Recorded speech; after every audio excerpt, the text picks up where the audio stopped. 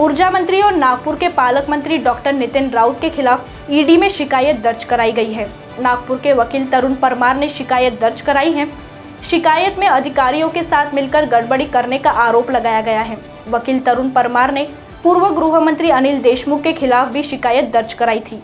उसमें उन्होंने अनिल देशमुख, नागपुर के एक मंत्री, उसके सचिव और अन्य बड़े अधिकारियों पर मनी लॉन्ड्रिंग मामले में शामिल होने की बात कही थी।